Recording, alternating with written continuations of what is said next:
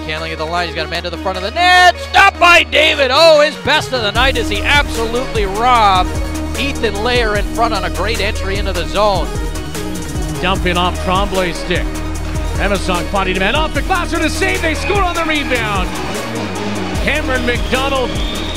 Glasser made the first save, and after the Bulldogs looked their absolute best, damn, it's in their net. And you can put this baby to bed. Ethan David, in his first start in the BC Hockey League, stops 25 shots for his first career shutout. Right side for Bulaka. Bulaka in the zone. Bulaka in the backhand. Scores! Oh, baby, what a goal! Max Bulaka in tight on the power play. It's a 2 2 game. Put it on the highlight reel. BCHL tonight. Ring it up. Brady Hunter towards that, to his backhand. Side. Bushy poked it on. Scores! Two in a row in overtime for Evan Bushy. Smoke Eaters win.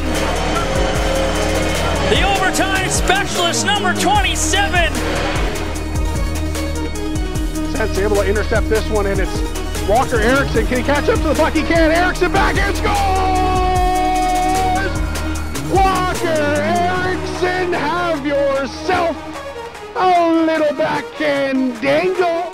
And now Hames takes it away. Hames centers a chance for Jeffrey. He scores! Turn on the red light. It's two goals in back to back games for Adam Jeffrey, and it's 4 1 Capitals.